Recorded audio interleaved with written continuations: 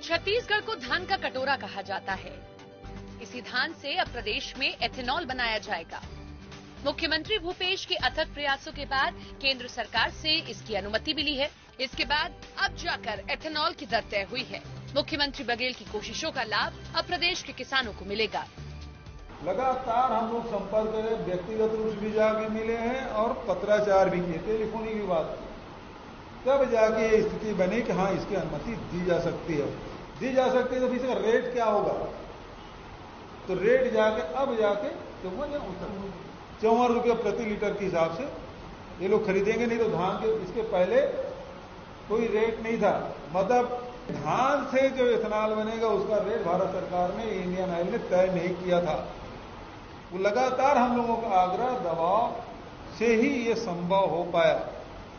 और आपको बताते हुए मुझे प्रसन्नता है, पिछले महीने हम लोगों ने चार, छह फैक्ट्रियों से हमने एमयू कर लिया। वो प्लांट केडी से इथेनॉल बनाने प्लांट लिए हमारा अनुबंध हो चुका है। मुख्यमंत्री भूपेश बघेल ने कहा कि केंद्र से अनुमति मिलने और इथेनॉल का रेट तय होने के बाद अब तेज़ी से इस दिशा में काम किया जा रहा है। सरकार में छह कंपनियों में एमओयू भी साइन कर लिए गए हैं। एक साल के अंदर प्रदेश में इसके प्लांट भी तैयार हो जाएँगे। प्रदेश में तैयार एथेनॉल भारत सरकार चौवन रुपये प्रति लीटर की दर से खरीदेगी। इंडियन ऑयल ने केडी के इथेनॉल के रेट तय किया जो चौवन रुपये प्रति लीटर है।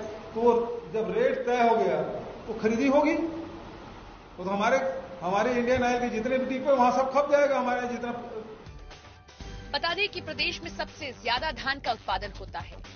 सार्वजनिक वितरण प्रणाली के लिए धान की खरीदी के बाद भी लगभग 25 लाख मीट्रिक टन धान अतिशेष रहता है।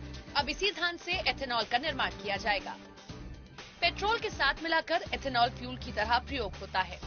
ये शकरा वाली फ़सलों से भी तैयार होता है। एथेनॉल में 35 फ़ीसदी ऑक्सीजन होता है। इसके प्रयोग से 35 फ़ीसदी कम कार्बन का उत्सर्जन होता है। एथेनॉल इको फ्रेंडली फ्यूल माना जाता है।